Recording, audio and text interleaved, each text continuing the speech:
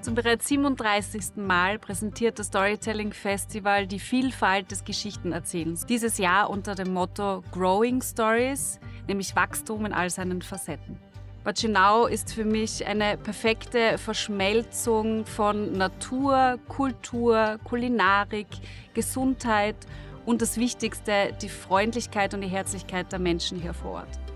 Natürlich der Kultur-Hotspot Skonarium zum Energietanken, ein Spaziergang in den fabelhaften Kurpark oder natürlich auch der Eiskreislauf.